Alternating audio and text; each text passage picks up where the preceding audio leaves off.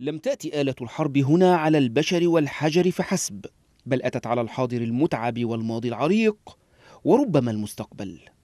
هنا الموصل أنموذج الدمار الشاخص في العراق. دمر حاضرها ويعرض ماضيها للبيع بأبخس الأثمان. فبعد آثارها التي إما دمرتها العمليات العسكرية أو وجدت طريقها للتهريب نحو الخارج جاء الدور على سورها الأثري. إذ عمت حالة استياء في مدينة الموصل بعد أن أقدمت جهات متنفذة على تدمير جدار يعود إلى العصر الآشوري بواسطة آلات تحريك التربة الثقيلة بذريعة شق طريق عام.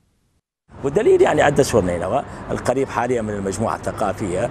كان هناك لغط كبير وحدث وقفات واحتجاجات على أنه سيفتتح شارع بسبب أنه أحد الشخصيات ادعى بأنه يمتلك هذا الشارع. أزالوا سور نينوى آه، وهو سور تاريخي. لا أعادوا إعماره ولا هم أعادوا الشارع. يعني زين هذا التدمير هل هو ممنهج؟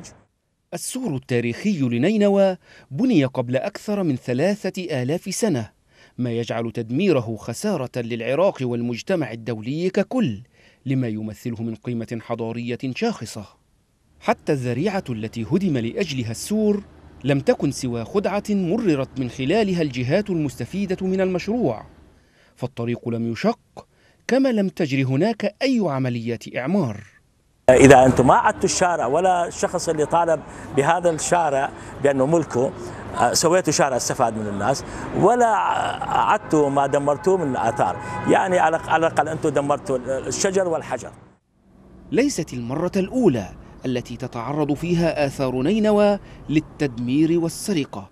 فقد اتهمت منظمات مدنية الميليشيات المتنفذة في المحافظة بسرقة آثارها وبيعها في السوق السوداء وسط إهمال حكومي متعمد.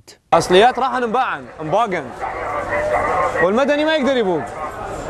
ولا أي شخص غير الحكومة ما يقدر يمد على الشغلات.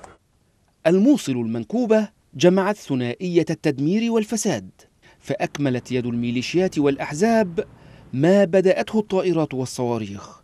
حديث عن الإعمار والبناء ولا تجد في المدينة سوى الجثث والأنقاض نتيجة طبيعية لسبعة عشر سنة من اللادولة.